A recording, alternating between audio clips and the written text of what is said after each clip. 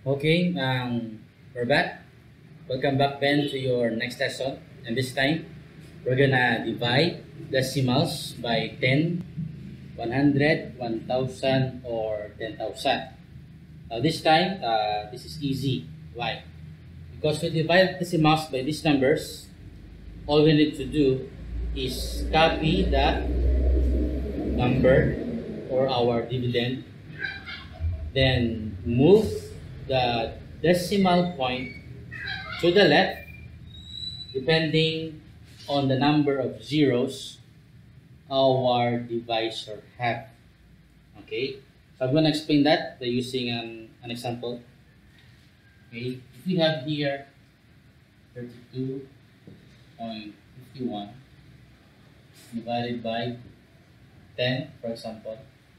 Okay, so all we need to do is copy the dividend, okay, which is 32.51 and move the decimal point to the left of our number depending on how many zeros our divisor have okay? In, in, this case 10 so we have 1 0 we need to say we're gonna move the decimal point one step to the left of our number so our decimal point here will be between 3 and 2. Therefore, our answer here is 3.251. Okay? So 32.51 divided by 10 is 3.251. That's it. Okay? So let's have some more example. Or maybe if we're gonna use this example the same, how about divided by 100?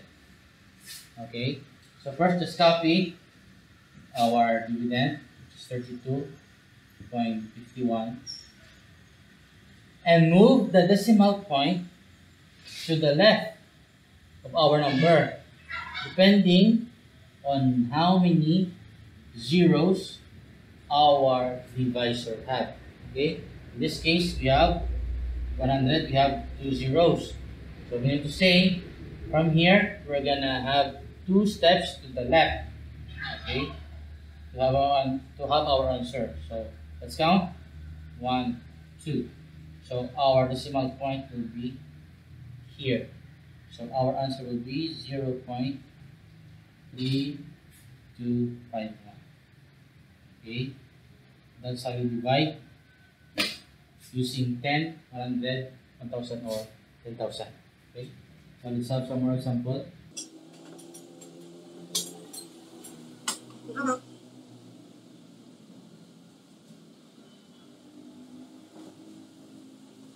Okay. So we have here a decimal number divided by a whole number which is 1,000. How to answer this? Simple.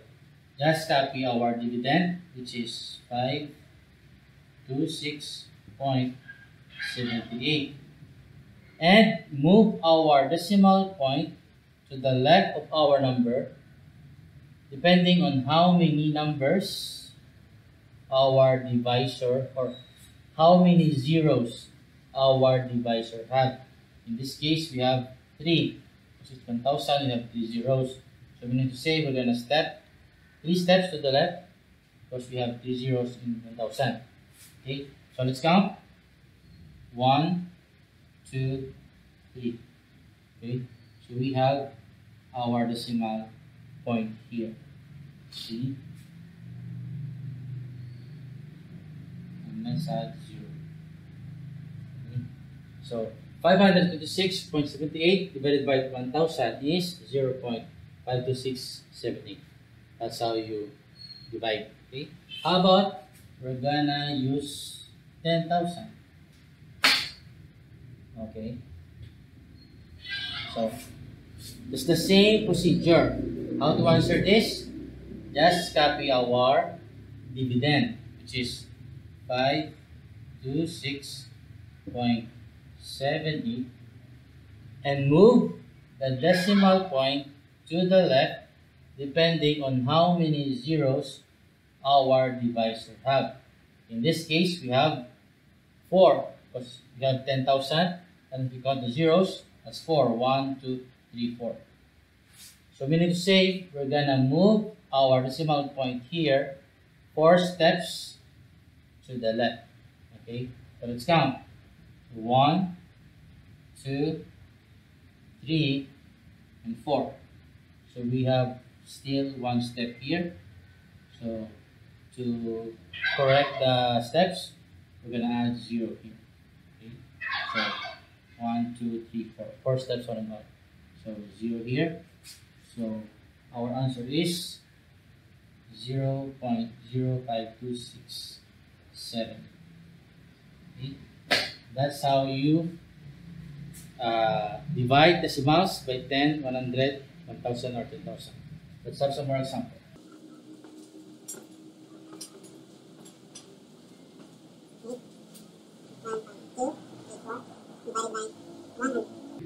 Okay, so we have a decimal number divided by 100.